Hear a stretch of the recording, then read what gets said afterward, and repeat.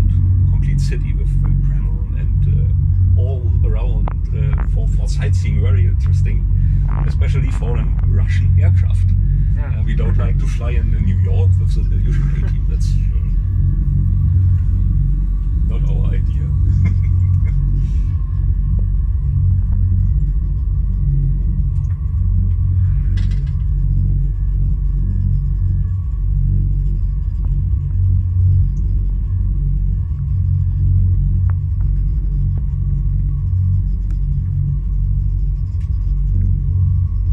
Yes, for, for a F-13 or small simulator, that's okay to, to fly an half hour or so. The briefing is only five minutes. There's nothing, uh, so much need- instruments or so. You don't need to be a pilot. Or... No, no, no, no, no, no.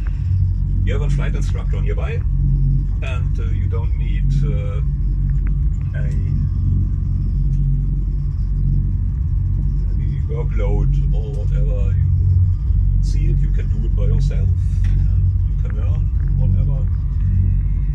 And uh, for the simulator, we need more time, of course. Yeah. Would be an Antonov 2 uh, single engine aircraft.